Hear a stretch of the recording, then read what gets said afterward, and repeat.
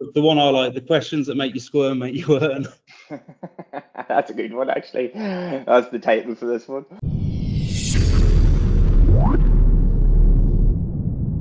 So, Julien, introduce yourself. Who are you? I'm Julien. Uh, work for the onset as an associate director. I've been here for five years now. Um, prior to that, I was I was over in the UK where I was in recruitment for you know another four or five years. How did you get into it? How did you fall in? I posted on LinkedIn about this the other day uh, and shared the story because it's my favourite interview question. But um, and someone threw it back at me. I definitely fell into it, and I was definitely pushed into recruitment a little bit. But uh, pre-recruitment, I was working in environmental consulting. So basically, I was on site. We won a contract with Jaguar Land Rover in the UK, which basically meant we were helping support um, or reduce their carbon emissions off the back of research and development. So basically, meant I was on site leading like project initiatives that, that would help them reduce like more crap, more waste into to be recycled. It, it was quite a cool job because it meant I got on site, getting to see like all the cars being developed and tested from like clay models to like a working car on a test track. But I was a glorified bin man. you know, I was literally going around the site trying to convince like ancient engineers that they need to get rid of their metal cans where they threw their oil filters, their apples, their paperwork all into one bin and convince them to segregate their waste into like different bit receptacles or bins. So it didn't pay particularly well because it was the automotive industry. The hours were really antisocial. Uh, it was just killing me. So I got talking to my brother Jay. He was in recruitment. I didn't really know a lot about what he did, but he was like, "You should get into recruitment." So I went along, met a company called ISL in Bristol, and just kind of went through the interview process with them. I didn't really know what recruitment was going into it. I knew it was kind of sales and was kind of what I was doing already. But uh, yeah, I, I, didn't know what I was getting in, myself in for. I didn't grow up dreaming of it. But I'm I'm glad I'm still doing it today. uh, that's good. I don't think many of us like when we were younger. What do you want to be when you grow up? Uh, I don't think the recruitment comes up on top of that list anyway. No, no, no, no. Definitely fell into it, but I'm I'm I'm glad I did. I don't think I was glad for the first couple of years but I'm I'm glad I'm still here now. It's funny when uh, I've seen like 45% of people that get into recruitment leave in the first nine months, and this is probably this is the first one of these because if we can give some advice to somebody that is starting, it might help them get through the first couple of years. I think it's a massive learning curve, and it, it's tough. And yeah, I, you know, going back to my first day, I remember like going on the phone and I was in another room and I just hadn't a clue and it was like, uh, uh, uh. so I still am like that today, but I think it helps with the accent and people understand what I'm saying. But um, if you were to go back to day one, what advice would you give yourself? Yeah, so uh, I think the one thing that you need to figure out in recruitment really early on is you can go from absolute hero to zero like overnight. I think I, I came in and I got quite lucky. You know, I, I worked hard, but I, I got in. I was really fortunate. I got a few deals away really quickly, and like shot up the billings board, and I just got too cocky. I got too high on the highs, and I remember the one week like I, I was top biller for the month, like three months in, and I was like recruitment's easy. I got this. and um, literally, I think one day I came into work, phone call, drop out. It was like, it's okay. It was only a small deal. I'm still, I'm all right. I'm still there. And then literally my next phone call, another dropout. I'm like, oh God. And then it was just my big placement that was left. And that like that was the the, the line share my billings for that month. And it was a phone call and it was from the candidate. I was like, no, surely not, surely not and it was the candidate ringing to take taking another offer. So literally within the space of an hour, I went from like top biller for the month to on bottom of the board again, and like it was all the it was all the deals I needed to get me over the promotion threshold, where I'd get like good comms and all the good things like that, and uh, yeah, like all that confidence, all that swagger went out the window, and I was I was I was you know I was I was having to ride the low, and it killed me. Like but yeah, like you're gonna have this early in your career. Like you're gonna get placements away. There's questions you weren't have asked, there's things you weren't qualified, things you haven't considered, and shit's gonna go wrong. But you kind of have to have those lows and those mistakes to learn. But you just need to be really good at being patient and resilient, I guess, around not getting too high on your highs and being able to ride your lows. I think that that was the thing that I I really struggled with. Yeah, because stuff just doesn't go your way sometimes, and that's what we get, you know, paid to deal with is the fallout of that. Champagne and razor blades, as the, Yeah, the literally. old saying goes. Blaze, mate. Yeah. Was it the, what would you say, what, do you have an idea of why they dropped out? Was it like, were you pushing stuff, forcing stuff, or qualification, or what was it? Mate, it's literally qualification. You know, I, th- I think you've got to have like a really robust qualification process. You know, if you're not meeting your candidates, and I wasn't back in the day, like it was all just on the phone or over email, and because you're not qualifying everything, I wasn't qualifying everything to the nth degree. Like there was loads of surprises. You're early in your career, you, you're kind of like you're almost a bit desperate to make things happen Yeah, you know, if you like, you want that deal, you want to get the monkey off your back, you want to start earning commission, and you're just kind of pushing stuff along, and you're hearing what you want to hear rather than what you need to be hearing. Yeah, Um, and I think it comes with the territory of being new, but yeah, like it was absolutely the qualification. Like may have been asking the right questions, but just not listening to the answers or not ask, asking the right questions. And I think that knowledge bank of the questions that you gain, it does come with time, but Mm. like you want to be in an agency where you've got like other good senior recruiters around you, people that you can hear on the phones, you can see what they're doing, you can you can kind of learn from them. Picking a couple good questions that you learn from them and just building that into your process every week. Like you're not Rome wasn't built in a day. Your qualification process is not going to be perfect in your first week. It's a build. So you just need to keep picking like small little improvements, Mm. questions you can build into your process and just keep getting better. It's ever evolving. Yeah. Asking hard questions, isn't it? Like you don't want to hear the answers sometimes, but if you don't ask the question, then it's like you're falsely going through a process and it can come back to bite you.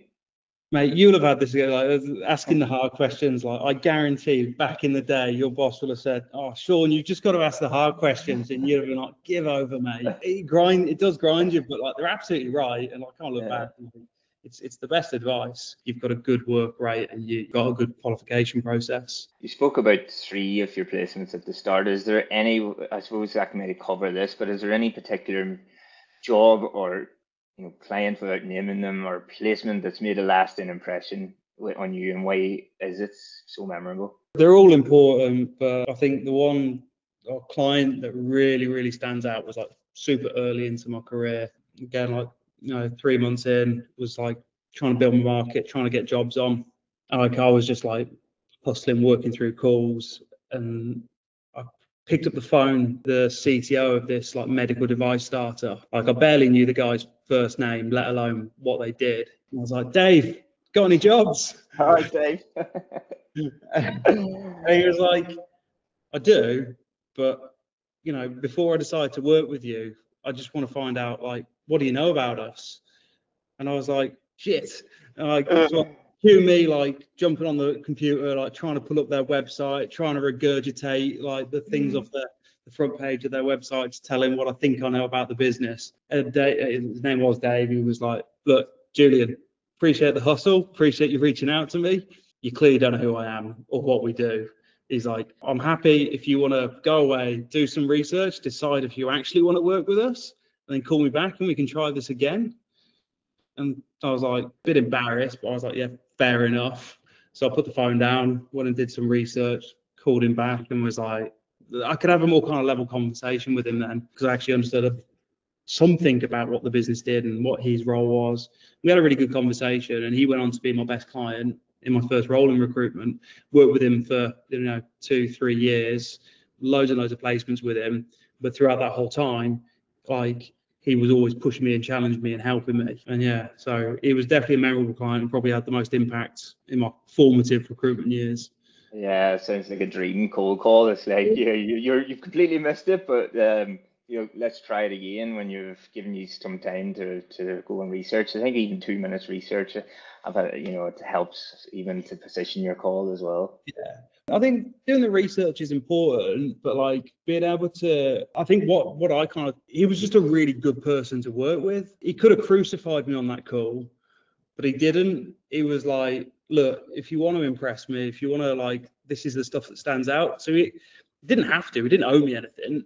He could have just told me to piss off, block my number, and never spoke to me again, which is probably what I would have done, you know. But instead, he actually took time out of his day. He's a CTO of like a medtech startup. Like he's a busy guy, important guy, and he took time out of his day to kind of go, look, this is what you need to do.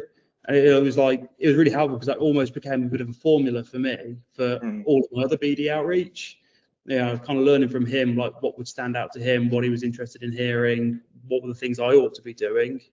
That was really helpful. And so I kind of took a lot away from that. I, you know, I got a bit of egg on my face and was really embarrassed. But yeah, it, it was definitely a defining moment in my recruitment career it's good that it happened three months in. Do you think that if, say, somebody is listening or reading this uh, in their first year should start to like this whole fake it till you make it culture is gone? You know, do you find people should just say, look, this is I'm starting, but uh, I know what you're looking for, or I have some idea of the industry.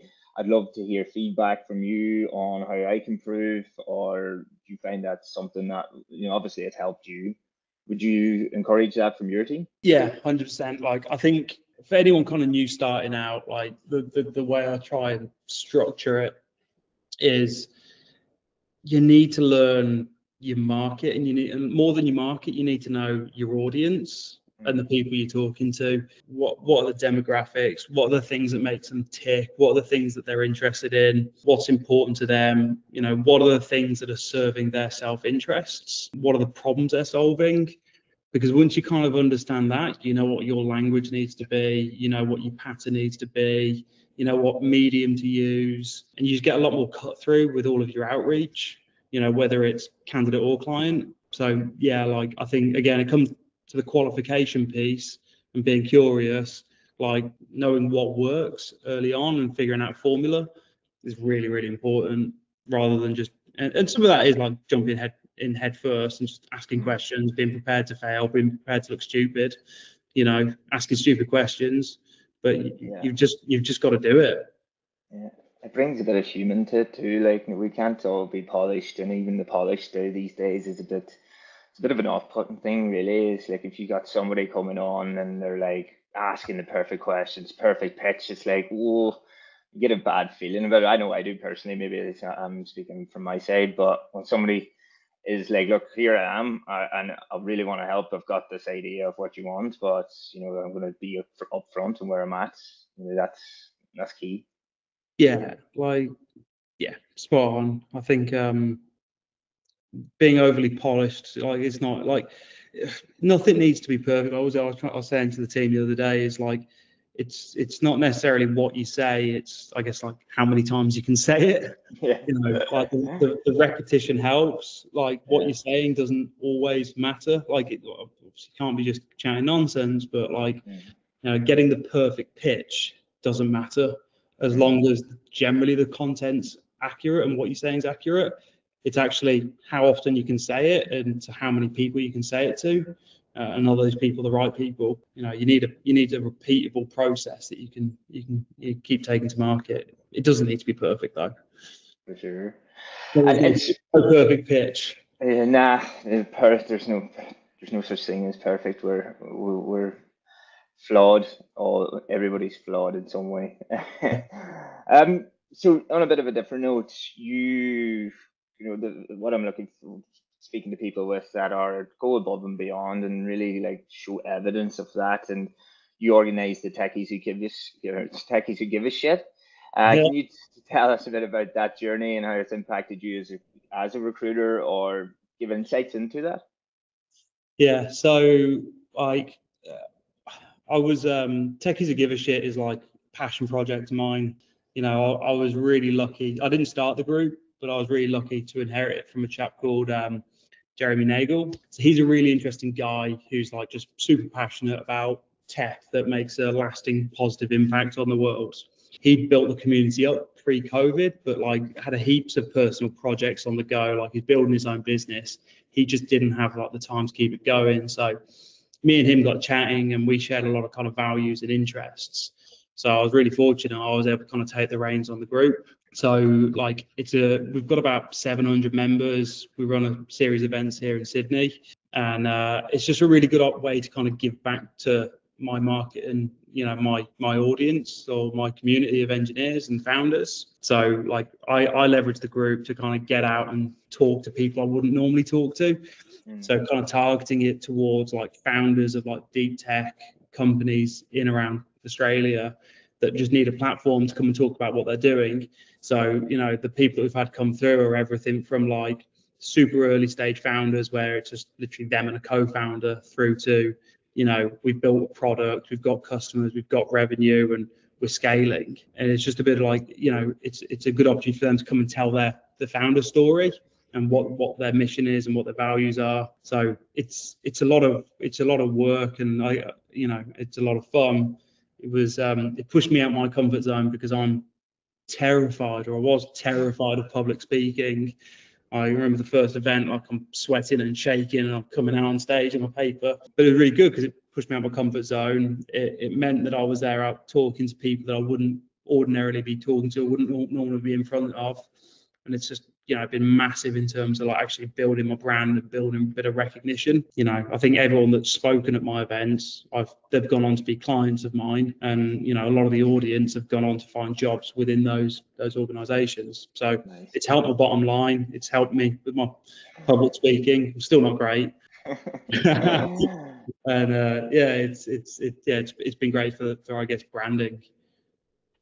On that so when we worked together you were one of the first people I heard talk about personal branding and building that and doing it a bit different. Um, you know, for me in the last year, I've tried to do more of this sort of stuff, and it really, you know, similar to you with the public speaking and you that chatting and getting up there and pushing yourself out there. It's difficult, but how have you seen personal branding like influ- influence your career? And what would you say to somebody maybe hesitant about posting on LinkedIn. I know we have had a few chats in the past. And you've helped me overcome a lot of that. So, what would you say to somebody maybe in their, you know, the first two years of their career that wants to give it a go, but maybe feels that, you know, I'm not a guru or you know an expert that we all see. But you know, is there yeah. any advice you give to them? Yeah, yeah. Well, a bit bit of backstory and context there. Like, I was posting on LinkedIn before it was cool. like, back, at ISL, like when I first started out, like I'd be posting stuff on, on LinkedIn and like the guys around me like, you can't put that on LinkedIn, you can't do that. And I was just posting memes. It was nothing particularly like profound or like offensive. It'd just yeah. be a meme or something related to a job or whatever. And it's because like no one's doing it.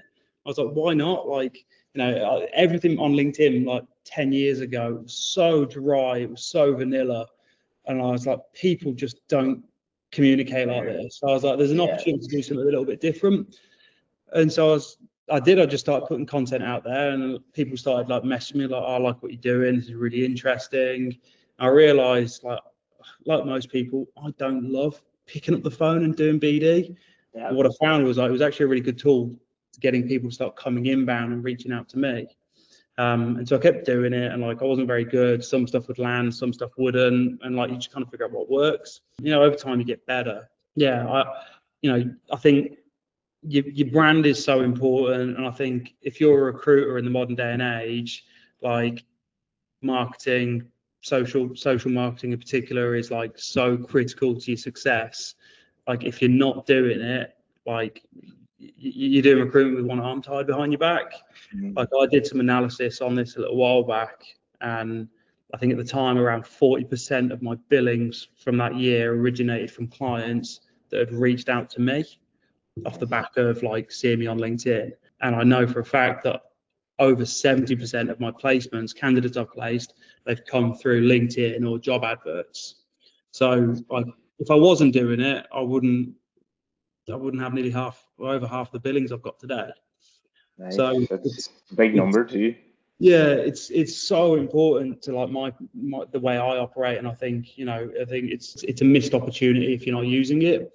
I think um like I talked to a lot of people about it, and like most people are like hesitant, like similar to my public speaking, like they're not they're, they're scared of it because they haven't done it before, and they don't know what works. They're worried about you know, looking stupid or they're worried about not being witty or funny enough. And what if my content doesn't land and stuff like that? Like, that's all completely normal, but that won't go away until you get started. So I Mm. think you just you just have to kind of start. Finally landed for me was realizing that most people just want to be entertained or they want to be informed, or they want to Yeah. know something, or they want to laugh. Like you know, they just want a distraction. That's what social media is, right? So you, you just need to kind of figure out what does informative or entertaining look like, and it's not that hard. Like you know, look, you you can talk about your process. You can talk about you know your recruitment stories, the good and the bad you know you can you can look at your market observations and predictions like anything can be content you know if you if you kind of sat down and you've actually kind of fleshed out like what are a couple of things i could post about and talk about and you're still struggling like just get out and do some research like look for other people on linkedin that are posting content like one of the my favorite phrases that i learned is god gave us eyes to plagiarize like, I- I So know true.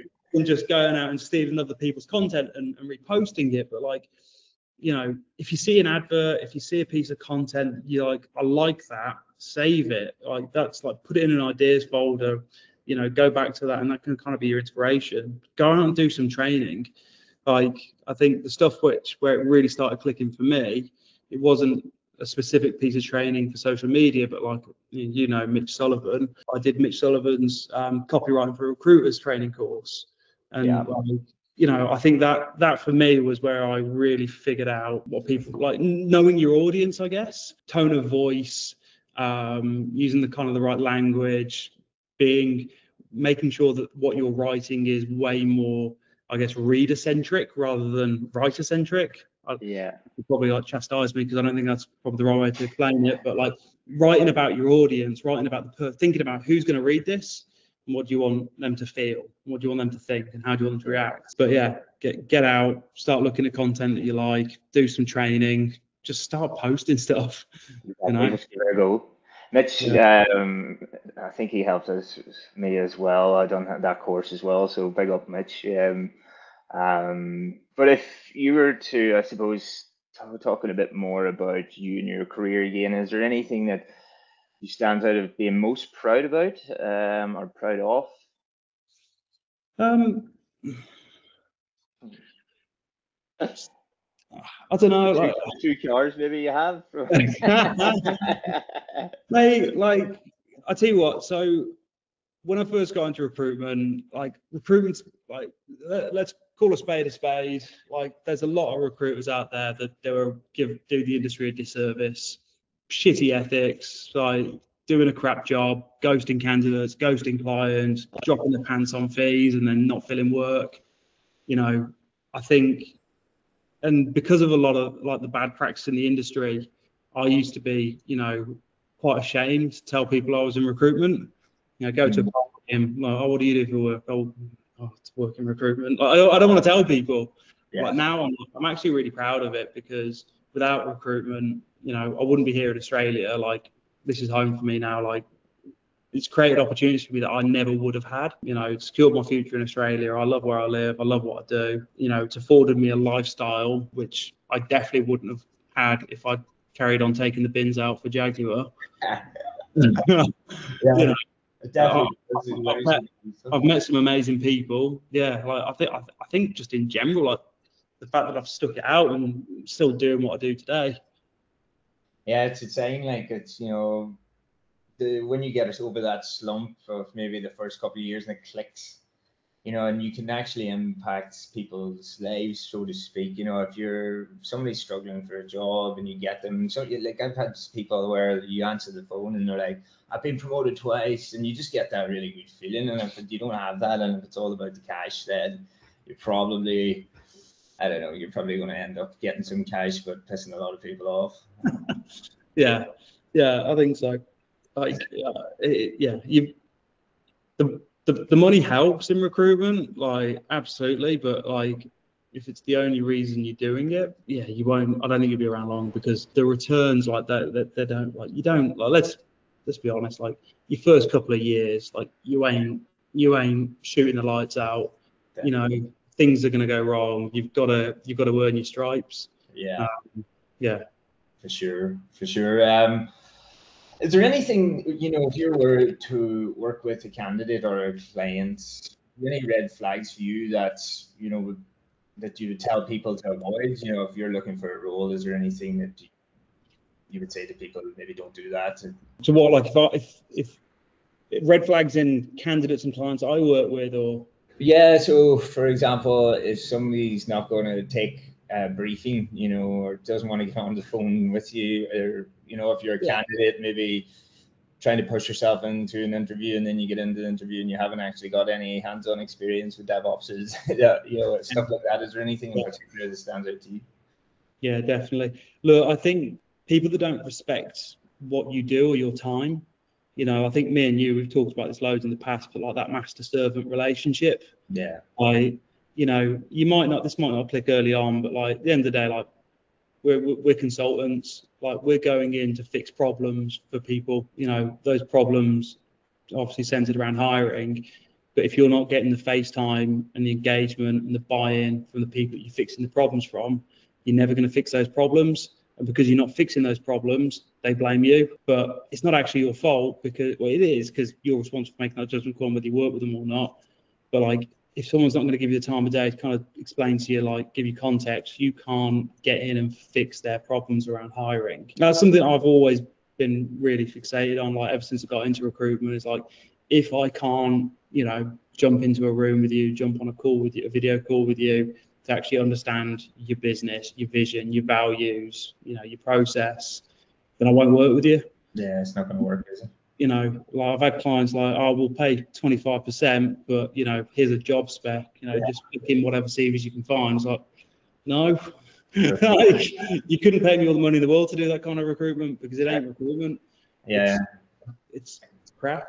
But it, it takes yeah. up your time and it takes you away from actually what your focus is and your you know, I've I've done it in the past when I started out. Like you, yeah, I've got a role on, but really, is it a role? Is it? You know, if you're not getting a full briefing, it's like send me CVs. It's like, well, yeah, you're not serious as well about hiring this person. Yeah, yeah. Like, how can you expect someone to go and spend, you know, you know, that that their whole week dedicated to kind of building out shortlist, interviewing people, vetting people, coming back to you, then and then taking their trust in you into a business where it's like, I don't even know if they're going to respond to me. I don't even know if they're going to come back and give feedback. It just spirals out of control. If you don't have any control over the process because you don't have that buy-in, that's yeah. on you and that's your fault. But yeah, don't don't don't work with people that don't respect you and won't give you the time of day. Um, it just never ends well.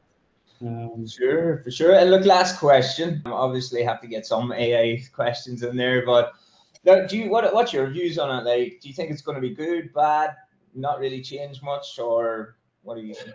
Mate, I think the like when we talk about AI, I guess like it's automation, right? Mm-hmm. I think it's like I don't think a robot is going to come along and replace recruiters.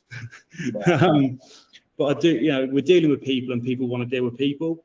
But like automation, it doesn't matter whether you're in recruitment or anything else, like there's a huge opportunity there to kind of use really, really good tools like Cloud Recruit, Floats AI. we cut that. Can we edit that and like? you might have to rebrand your business, mate. No, um, you know, using but tools like Floats AI, which can they, they, they can automate parts of your job and make you, your life easier. Like it, I think it comes back to the quality of your data. Mm. So, like, if you're putting good data in and you're building sensible automation around that data, and it's logical, um, and you know the content you're sending out or the CVs you're sending out, it's going to the relevant and the right audience. Yeah. There's a huge opportunity. If you're just putting crap data in, you're going to get crap results out. But again, like like your branding, like I think if you're not using automation in the right ways, you know, uh, you're missing a trick. But it's yeah, it's it's a really powerful tool for for saving you time and getting you better results, better outcomes across the board.